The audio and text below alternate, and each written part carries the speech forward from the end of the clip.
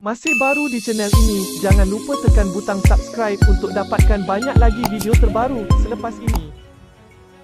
Ketua Pegawai Eksekutif CEO Awesome TV, iaitu Datuk Adam Ilyas dan pengarah urusannya, Johan Ishak mendakwa pelawak Atu Zero masih belum lagi mengambil bayaran yang telah disediakan oleh pihak mereka.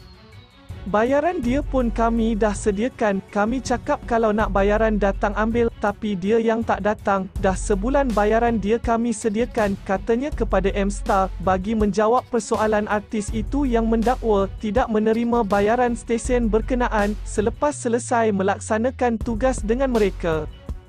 Dalam pada itu, Johan pula turut mendedahkan Atul berdepan dengan kesalahan disiplin kerana menghilangkan diri sewaktu menjalani program siaran langsung Osem Raja Lawak sebelum ini. Isu disiplin yang dia menghilang tu, cuba bayangkan, ia adalah sebuah program siaran langsung, dia boleh lari, menggelabah kami. Itu fasal kami panggil dia datang ambil bayaran ni, sebab nak bincangkan tentang isu lari itu juga. Kau nak gaduh dengan kau punya periuk nasi buat apa? Benda boleh bincangkan, ujarnya. Adam bagaimanapun menyangkal dakwaan dibuat oleh Atus sebelum ini, yang mengatakan tidak tahu diminta untuk naik ke atas pentas, sewaktu program siaran langsung itu bermula. Malah pihak stesen televisyen tidak diberi sebarang makluman dan mendapat tahu Atu telah pulang tanpa melunaskan komitmen yang sudah diberi. Atu tu dia sebenarnya banyak menipu, dalam kenyataan dia cakap dia balik kerana tidak tahu kena naik atas pentas, katanya masa hari kejadian baharu tahu.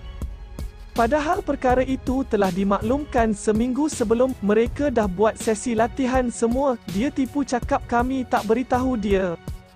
Patutnya tahu ke, ajak dan atu setiap segmen, mereka perlu naik atas pentas buat sketsa, separuh jalan atu hilang lari balik, tak ada cakap apa, siapa pun tak tahu, tengok-tengok dia dah lari balik, ujarnya.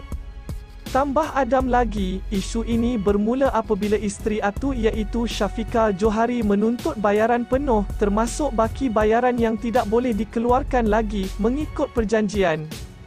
Pada April lalu, Atu meluahkan rasa kesal apabila terpaksa menagih bayarannya daripada Awesome TV. Lebih malang, Atu mendakwa dia menggunakan wang sendiri sepanjang menjalani penggambaran. Namun apabila bayaran dituntut, dia hanya diberi janji kosong.